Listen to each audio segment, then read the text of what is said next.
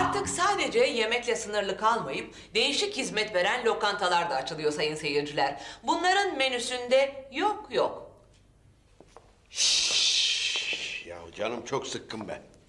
Geçen gün eve geç gittim. Karıyla fena kapıştık ha. Üzme canını ya. Şimdi şurada bir yere gideriz. iki kadeh bir şey atarız toparlanırsın. Hadi bak şurası. Michel, ma belle, sans let's monkey one, très bien ensemble, très bien ensemble. Michel, ma belle, these are words that go together well, my Michel. I love you, I love you, I love you. That's all I want. Boş yeriniz var mı? Tabii efendim buyurunuz lütfen. Hadi girelim. Abi ya. Ne oldu koçum? Ya burası çok lüks be abi ya. Burada rahat edemeyiz. Biz başka bir lokantaya gidelim. Pekala nasıl istersen. Hadi gel bakalım. İşte koçum, tam istediğin gibi bir yere getirdim seni. Aile lokantası. Hadi bakalım, kendini evinde gibi hissedeceksin. Yürü.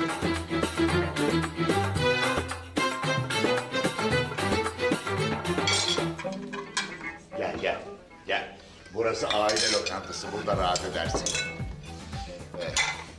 Ne var? Yemek yiyecektik de. Oturun. Otur.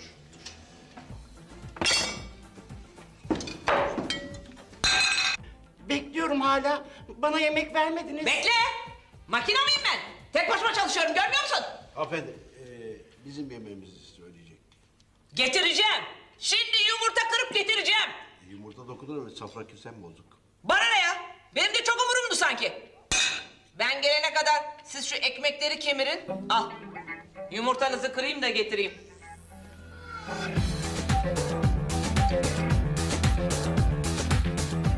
Hesabı isteyeceğim ama korkuyorum hayatım.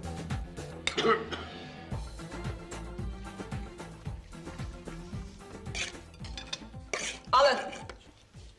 Zıkkım olur da boğazınızda kalır inşallah. Şey, parasını vereceğiz. Yık ya. Bir de para vermeseydin bari. Vallahi yolarım senin saçını başına. Sersem. Seni var ya gece yatarken haşlarım.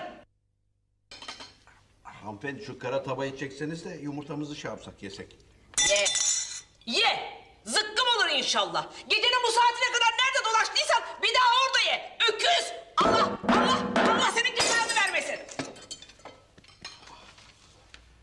Abi beni ne güzel bir yere getirdin. Çok güzel bir aile ortamı. Tıpkı kendimi evde karımın yanında gibi hissediyorum. Tabii abicim, adı üstünde bak aile lokantası. Çeşitli nedenlerle evlerinden uzakta kalmış erkekler hep ev hasretini gidermek için bu lokantaya gelirler. Bak, bak, bak.